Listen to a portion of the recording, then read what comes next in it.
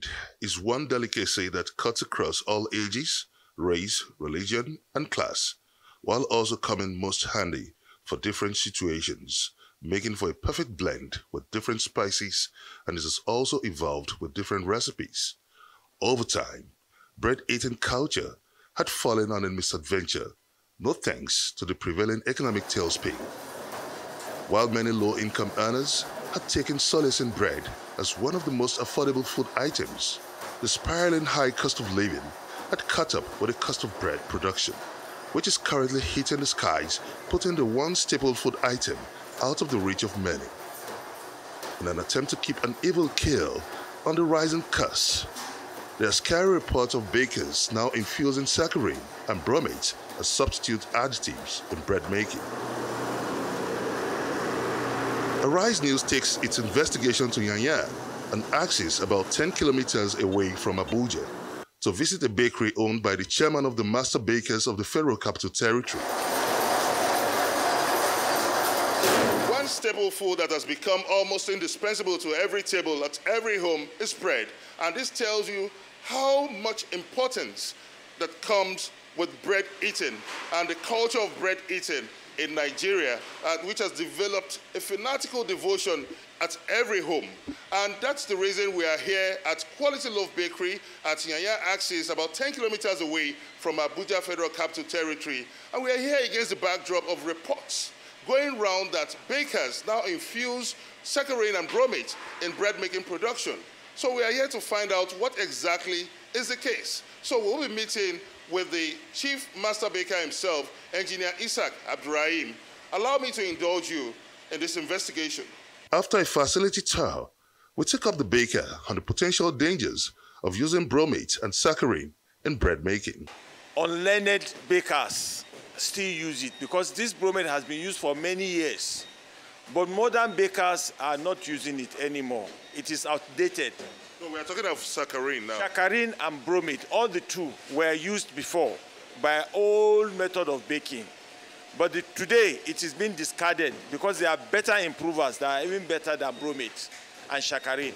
Hygienically, is saccharine potentially dangerous to the human health? Sure. It causes cancer. So people that are using saccharine are putting customers into danger. They are exposing them to cancer. From Nyanya, we drove back to Abuja, where we also interviewed the president of the Nutrition Society of Nigeria. Saccharin and bromate are generally recognized as uh, food additives that has uh, um, its use in the um, production of bread and other flour products. Interestingly, um, these two food additives have been banned in some countries of the world, and uh, I think Nigeria is also inclusive. I think in way back 2003, 2004, Nigeria actually also came out to ban the use of these uh, two food additives because um, evidence from experiments carried out on rats and mice have actually uh, indicated that uh, uh, saccharin is a carcinogenic. Perhaps the regular bread eaters on the streets might just have something to say on the taste of bread lately. These days now, because of the situation we found ourselves into, the, the bread is not like the normal bread we used to eat again. And the amount we used to buy is not even, uh, is not encouraging. Thank you very much from Arise News. Arise News, thank yeah. you sir. I, I bake bread myself most of the time, so I don't notice any, any strange taste. You said you bake bread yourself. Could you tell us the ingredients you use in baking your bread?